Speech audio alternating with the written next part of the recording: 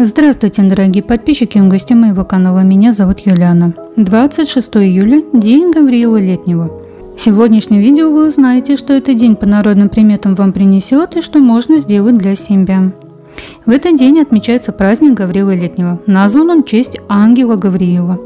Рожденные 26 июля отличаются стремлением к самообразованию и развитию себя во многих областях одновременно – эти люди наделены даром волшебства, а также никогда не жалуются, с малых лет стремятся зарабатывать деньги, а потому в финансовом плане их жизнь всегда сыта и благополучна. На Руси этот день считался хмурым и пасмурным, нередко грохотал гром. Крестьяне откладывали свои полевые дела, ведь работать в эти сутки никто не должен.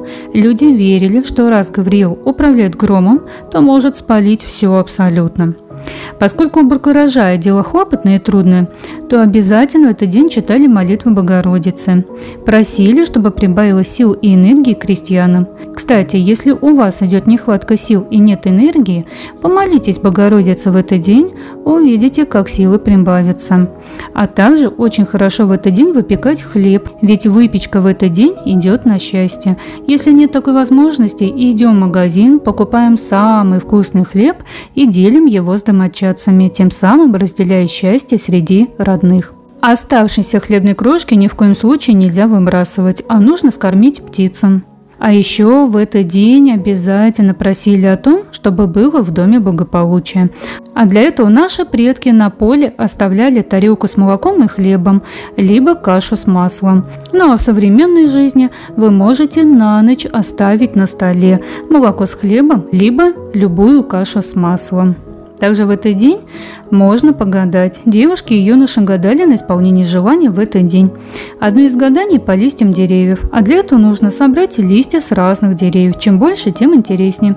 Достаточно по одному-два листа с каждого дерева. Положить их в мешок и перемешать. При этом четко воображая свое желание и вытащите один, он и расскажет вам правду. Так как, например, клен задуманному не суждено сбыться. Береза – желание точно осуществиться. Осина – вас ждут препятствия на пути к цели. Дуб – не стоит и думать об этом, мечта реализуется. Рябина – кто-то будет вставлять вам палки в колеса, но мечта все-таки станет явью. А если липа – ситуация не ясна, но вероятность, что желание воплотится намного больше. Если если у вас нет столько деревьев, то вы можете сделать по-другому. Также собрать листья из деревьев, и на этих листьях можно маркером просто написать свои желания. А потом также вытаскивать из мешка. И вот посмотрите, какое ваше желание сбудется. Сны в эту ночь будут яркие, необычные, и, возможно, какие-то образы вас заинтересуют. И то, что вам приснится, все это вы можете воплотить в свою жизнь. И также, конечно, обязательно проводили в этот день различные заговоры. Существовало такое поверье, что любая практика, которая проделывается в этот день, то обязательно исполнится в короткие сроки. Так, например, можно сделать такую волшебную практику на дружбу. То есть, если вы с кем-то в ссоре и очень хотите помириться, причем эта практика действует на всех. Если вы на работе с кем-то поругались, либо с подругой, либо со знакомыми, или если в отношениях, то обязательно проведите эту практику. А что вам нужно сделать? Просто берете немного соли в свою руку. И на эту соль вы наговариваете такие слова. Мы называете имя человека, с которым вы хотите помириться. Вместе путь соли съели, всякое перетерпели. Светлые силы мне помогите, да сделайте так, чтобы все обиды забылись, чтобы в душах наших мир был, а злость навсегда удалилась. Да будет так. Вот вам нужно сказать три раза. Далее, эту соль, которая у вас в руке, вы должны разделить пополам. Одну половину съесть сами, а другую дать тому человеку, с кем вы хотите помириться. Если такого не получается, тогда всю соль вы съедаете сами. И все. И вот вы обязательно в скором времени сможете помириться.